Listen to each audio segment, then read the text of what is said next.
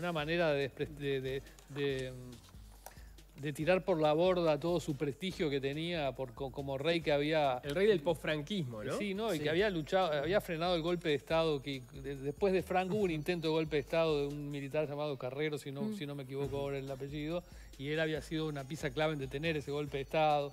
Había tenido también unas gestiones en, en América Latina recordadas por favorecer también el retorno a la democracia. Tenía un prestigio que que, lo está tirando por la Pero lo tiró ya no queda nada. Empezó con el elefante cuando, cuando, posó con, con, el elefante muerto. La segunda reina, ¿no? La, amante y ahora las cuentas en el exterior. Y ahora las cuentas en ese estadio. creo que... Y bueno, y ahora la fuga. Sí, es una fuga. Porque es una fuga. Es una viene la serie en cualquier Qué difícil, qué difícil para el hijo también, ¿no? Mm. Digo, estar ahí, porque es una fuga. Es una lo que está haciendo el padre. Bien, ¿Qué, replanteo de las monarquías también, ¿no? Bueno, supuestamente es un intento por, por salvar la, la monarquía en España, ¿no? Por, bueno, no cargarle un peso extra que termine por hacerla caer.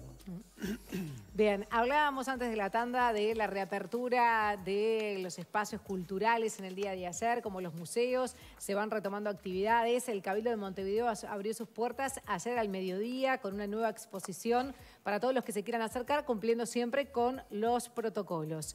La nueva muestra exhibida es literatura y naturaleza e integra el proyecto de investigación Paisajes Sensoriales, un patrimonio cultural de los sentidos iniciado en 2018 y cuyo objetivo es visibilizar y potenciar el estudio, la divulgación y la puesta en valor de los patrimonios sensoriales que nos distinguen en nuestra propia identidad cultural. Pero para saber mucho más, nos vamos con el móvil a hablar con Rosana Carrete, directora del Museo Histórico Cabildo de Montevideo. Buenos días, ¿cómo estás?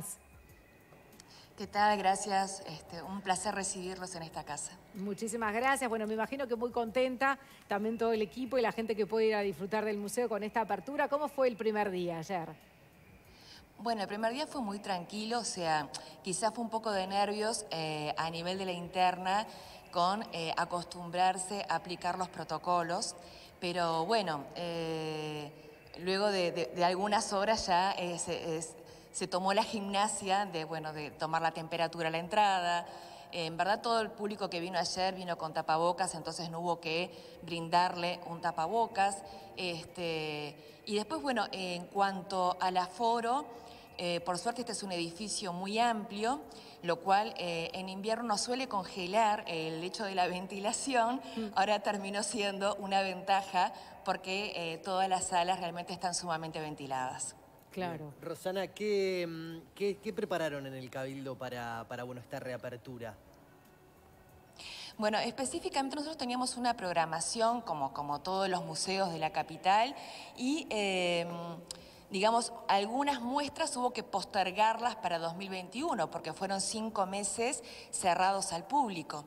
Entonces, bueno, esta muestra que estaba eh, planificada para mayo, eh, terminamos montándola eh, a fines de julio, o sea que justito estuvo pronta para la, la reapertura. Y bueno, como, como ustedes mencionaban, es parte de un proyecto que ya venía de 2018 que hace alusión a los paisajes sensoriales. En este caso, eh, la protagonista es la naturaleza y su relación eh, con, lo textual, ¿verdad? Con, es literatura y naturaleza. Entonces, bueno, la naturaleza aparece como paisaje de fondo, como tensión de un relato, en algunos casos como paisajes que ya producto de los sistemas productivos ya no están, o sea, eh, y va acompañado, o sea, toda la, exposición de obras de los acuarelistas que forman, conforman, es toda el 90% es acervo del Museo Histórico Cabildo, o sea que son eh, Figari Castro, eh, acuarelistas, los acuarelistas viajeros que llegaron en el siglo XIX, y tenemos bueno, una curiosidad que fue un préstamo del Museo Figari, museo vecino y amigo, que eh, nos prestó una obra de Pedro Figari cuando aún él no firmaba sus obras, la firmaba como Merlín, porque bueno, todavía él este, como que al principio tenía cierto pudor de ser eh, pintor y bueno, entonces es como también una historia dentro del cuadro, o sea, como la historia dentro de la historia. Y, y también la, exposición como que apela a la imaginación, como a sumergirse en un, viaje sensorial. Tenemos a mis espaldas un audiovisual de Lynn Tomlinson, una artista estadounidense que lo, este, yo lo había visto en otro canal y, me llamó la atención, le escribí y con una gentileza enorme me dijo que bueno, que era un honor para ella que conformara parte de la muestra. Eh, y luego, bueno, hay eh, libros de la colección Salambrí que se dio la Universidad de Montevideo, eh, viejos herbarios que se dio el Jardín Botánico, o sea, todo como una apela a todos los sentidos. Y también fue una muestra que hubo que replantear porque en un principio yo pensaba poner un escritorio como un viejo gabinete con máquina de escribir y que el público se sentara a escribir, lo cual con estas medidas sanitarias no pudo ser.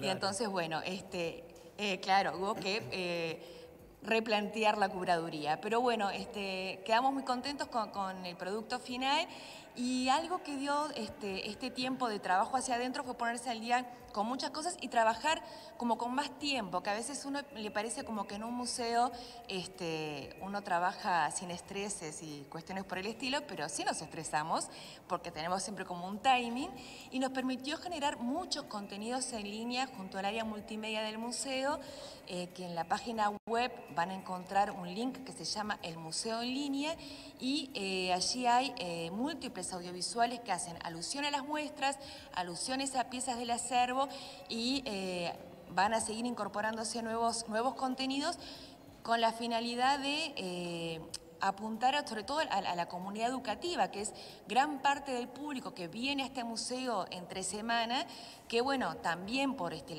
el actual contexto tampoco nos va a visitar masivamente como lo hacían antes. Rosana, a propósito de, ese replanteo que han tenido que hacer por la situación vinculada al, COVID, estaba leyendo el, protocolo y había un punto que me, me llamaba la atención, que es el punto número 17, que dice, las obras expuestas serán higienizadas por conservadores o personal debidamente formados, de no ser estrictamente necesario, no serán desinfectados, sino que serán aislados en cuarentena los días que se indiquen según la superficie material. Eh, ¿Cómo hacen, por ejemplo, con, los cuadros el tema de eh, la higienización de, las obras? ¿Qué, es lo que implicaba concretamente?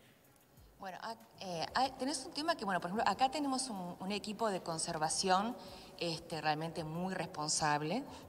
Y, además el público no se puede acercar a cierta distancia de las obras. O sea que eh, vos te podrás imaginar que yo no le puedo, eh, no puedo desinfectar un Figaricastro. O sea, con ningún con un producto específico. Entonces es, se le va a requerir al público que venga que mantenga la distancia con respecto a la, obra. Es como la, manera de eh, evitar eh, cualquier... Este, y además que el público viene con tapabocas. Este, está obligado a, entrar con, tapabocas y la sala es ventilada. Entonces, bueno, como que el, acervo, digamos, eh, está protegido. En caso de que bajáramos, sí, por ejemplo, en 15 días eh, baja la muestra eh, Montevideo desde el paisaje sin límites a la ciudad novísima, que ya estuvo desde julio del año pasado, una exposición que la habíamos inaugurado junto a Lucrecia Martel que bueno, este, ya cumplió su ciclo y estaba pensada para el área educativa, que como les decía, eh, ya fue visita el año pasado, la postergamos ahora unos días más porque no queríamos tener una sala cerrada en la reapertura, pero bueno, esa exposición cuando baje, sí, ahí sí, los, los, lo que son los marcos y cuadros, bueno, son eh, debidamente tratados por el área de conservación del museo, no por el área, por ejemplo, de limpieza. Entonces, bueno, y sí hay una sala, nosotros tenemos que a veces la gente eh, piensa que en el, museo tenemos mucho espacio y debiéramos tener más salas expositivas. Bueno, toda una ala del museo eh, la ocupan las salas de conservación del acervo y hay una sala específicamente que ya estaba desde antes, que es una sala de cuarentena que no se pensó para esta situación, sino que siempre estuvo en el hecho de que, bueno, cuando recibimos donaciones o demás, siempre se estudia que las, este, las obras no tengan plagas o que, o que las piezas eh, estén eh, en debidas condiciones y no contaminen, porque las piezas se contagian de hongos y de otras este, cuestiones a otras piezas al pasarlas a las salas de conservación. O sea que más o menos es el protocolo que se tiene con las piezas en general. Bien, eh, Rosana, vamos a recordar el horario para poder visitar el museo. Sí, al museo pueden venir de lunes a viernes de 12 a 17.45 y los sábados y feriados laborables de 11 a 17 horas. La entrada es libre y gratuita y sobre todo, ya les digo, este, invitamos a la comunidad educativa que siempre, como el Cabildo de Montevideo, como edificio patrimonial, forma parte, y edificio histórico forma parte de la currícula, a que visiten nuestra web, que es cabildo.montevideo.gov.uy, para este, en el museo en línea y en la parte de extensión cultural ver qué contenidos le podemos ofrecer para trabajar en clase eh, desde, y seguir su vínculo con el museo. Claro, tal cual, y que no se lo pierdan este año. Rosana Carrete, muchísimas gracias. Gracias a ustedes. Hasta luego, buena jornada. Bien, nosotros nos vamos.